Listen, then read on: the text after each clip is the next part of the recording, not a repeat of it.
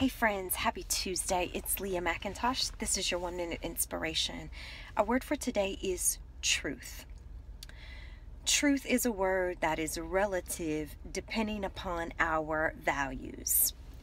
As people of faith, the highest values that we esteem are values such as love, justice, peace, forgiveness, and there are others. The truth for us is based upon alignment with those values. So, is the speech and the actions loving? Is it kind? Is it just? Is it helpful to others?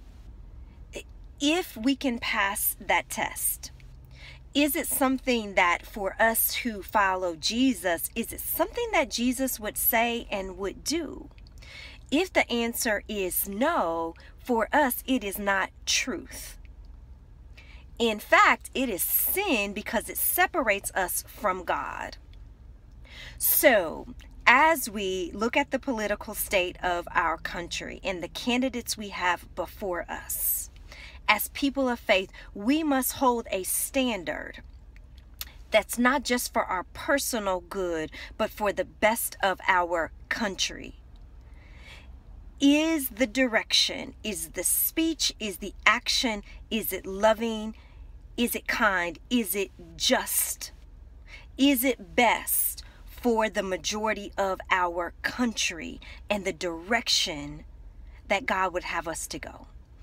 That's what I'd ask you to think about today. What is your truth?